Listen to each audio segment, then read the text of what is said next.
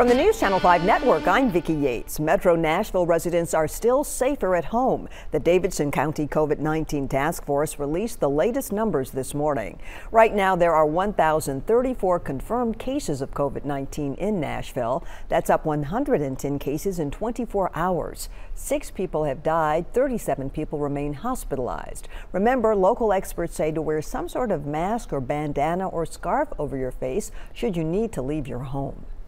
And remember, Nashville has three community assessment centers where people can get evaluated and tested if necessary. The drive-through centers are open Monday, Wednesday, and Friday and are located at Nissan Stadium, Meharry Medical College, and the old Kmart on Murfreesboro Pike. Before you go, though, call the Nashville Coronavirus Hotline at 615-862-7777 to receive an initial assessment by a health professional.